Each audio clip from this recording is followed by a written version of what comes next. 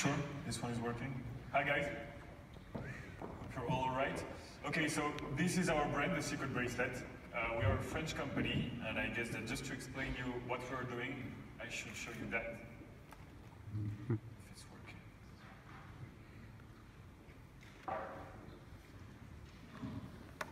Thank you.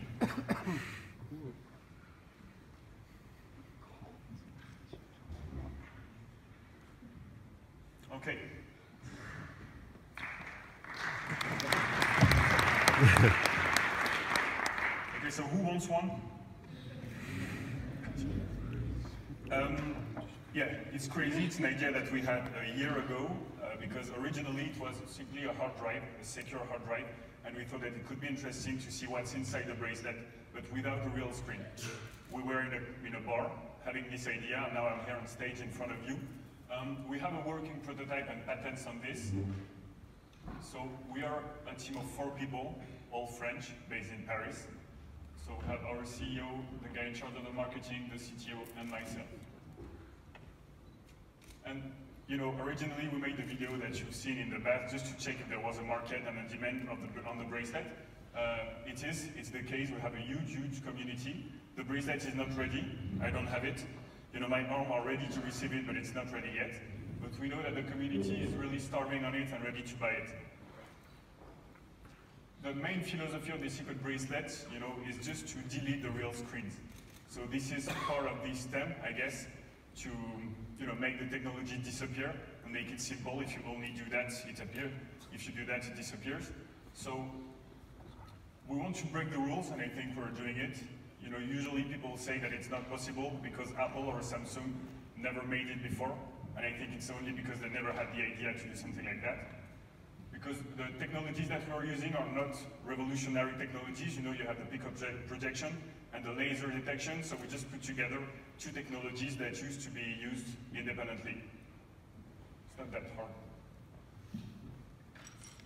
And yes, sorry, there is a second uh, and really important reason of trying to delete the real screen just to make it a little bit green and to, because we know that the screens are hard to recycle, so if we can escape and don't have any screens, it not makes the technology totally green, but we are trying to do our best. There is a wide range of futuristic uses of the bracelet that can be used as soon as we have it. Um, you know, I'm pretty sure that all of you may imagine how they can use the Cicret bracelet so we have some people in wheelchair that used to tell us that when they're using their wheelchair, if they have their phone in hand, it's not useful. It's not really easy, but if they have something here, they can simply, you know, just play with it. Uh, we have some firemen that want to use something in really warm places and their screen will explode, so we need to delete the screen. Uh, we have health, we have the policemen or soldiers that are interested as well, and of course the kids to play and just to have this wow effect when they're at school and make all their friends buy the Cicret bracelet. and of course, you know, the Pico projection technology exists for more than 10 years, but I think that there is no market. I've heard about something like a phone in Asia that, that has a Pico projector, but it didn't work really well. I think we create the market of the Pico projection. It's really, it's really tiny today. Um, this is why we're trying to raise funds to be able to buy the components and to get the, the thinnest uh, Pico projector, but it exists and we are creating the market for them. So if you're a Pico projection uh, projector producer here, we can be friends. so what have we achieved? Um, so we found the Pico projector, that's fine. We have a functional prototype. To speak, to speak frankly, it's not really sexy. You know, it's a working prototype. We show that it works, and it was uh, useful, of course, to register the patents, but we're working on a second version of the working prototype, a little bit smaller, and maybe make 10 or 20 for people to it and wear it on their arm. Um, and of course, we build the worldwide community. I think this night, we passed the 100,000 uh, people on Facebook, which is pretty massive for something that is not yet on the market. And we, the, the year that passed, we made the, our team grow. So we have Joe Sullivan and Patricia Grace. They work at Apple, and they are they are priceless for us, you know, for all the industrial matters. And they know they know you. Uh, I don't. So And now, we have some few stuff to do. Uh, basically make it smaller and have a working one. So we are working with two American design offices. Uh, the quotes are ready to make the first 100 working bracelets. We're finalizing a fundraising, and as soon as we're ready to pay 50% of the quote, they will go for it and may be able to deliver us the working bracelet with the final shape, the final components, and the final functionalities within six months. So this is um, what we've done in terms of hardware. We sourced all the components and they are practically all ready to be bought. We have a letter of intent from one of the most important manufacturers and I have an NDA with this important manufacturer so I can't say who it is.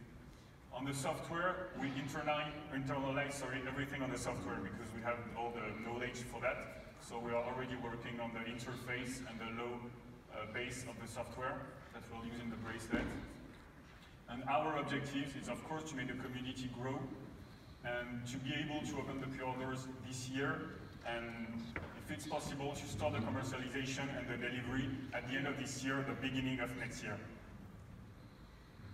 Now,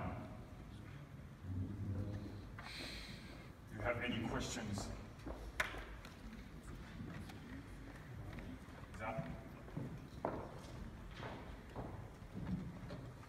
See, they're totally amazed. Oh, yeah. You see it here first. Yeah. Okay, put your hands together first for Guillaume. This is amazing. Thank you. So, let's go to business. Questions? There was one. I'll just ask my normal question. Okay. okay.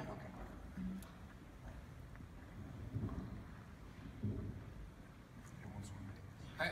So thanks a lot, Guillaume. I actually wanted to ask, uh, how does, how will, how long will the battery last on this kind of bracelet? Uh, we expect to have a working battery, you know, if it's full use, for two hour and a half. Okay, thanks. Pleasure. There was another one? Okay. Uh, Sorry, I was Osman. So, do you plan to use a laser projection? That means laser beams scanning, or do you use uh, some kind of standard projection like LCD projection? So I'm not the CTO, but it's not a reason not to answer you. So we are going on the laser option, right? Because my CTO is right here. Yeah, it's the case. We are going on the laser solution. We think so, yeah.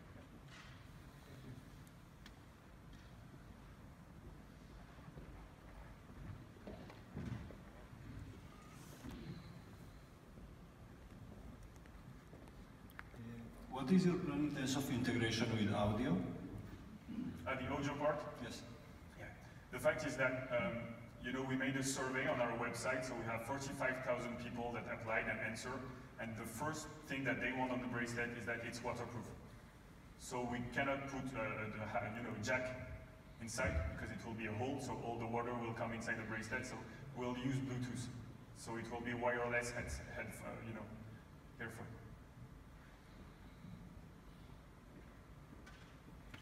There's a question over there, there's another one Cool. over there. And there is one. Yes. My name is Chris. Thank you for uh, sharing this. I don't have a question. I'm just volunteering to test one of the first. Thank you very much. Ladies, yeah. So, uh, two questions for you. One, uh, in your testing so far, how do people feel about this motion, which seems rather awkward to me? Uh, and two, how does it look on darker skin tones? Okay, first of all, you know, the fact is that, the, the, you know, when you project something, there is a deformation, and we are making the deformation, you know, in the good way by software, which means that you can, you know, uh, project in any surface. So you don't have to use the bracelet like that, you can use it here, you can even, you know, turn it here and use it on this part of your arm, and because we deposit two patents, there is another one where you can put your bracelet in a base and project on any surface in front of you. So you know you choose. And the second question, sorry, what was it?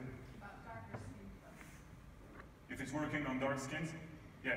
The fact is that we, I don't put it here on the video, on the presentation, but on, with the working prototype that we had, we tried it on a black skin, and it's working much more better on black than on white one. Yeah. there was one. Hi. Uh, Can the the picture format be be, uh, reshaped by the customer? The picture format? Format, yeah, because there are several shape of arms, I think. or- Yeah, of course, yeah. My opinion is that when you will buy the Cicret bracelet, um, you know, the first time you start it, you will be able to choose exactly the size of the screen that projects on the arm. And you will be able to reset this, uh, you know, this sizing to, even if you want to project on the wall. Very nice. I- I'll be the second one to test, okay? Okay?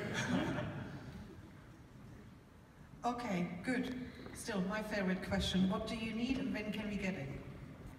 to have the bracelet. Oh, we're always looking for partners. You know, in France, we are not really business friendly, but we have some lots, lots and lots of help from the French state for research and development. But we're looking for investors, we're looking for industrial partners. So, uh, I don't know if you have my email address, but uh, I'm sitting right here. Excellent. Thank you Thank you so much. much.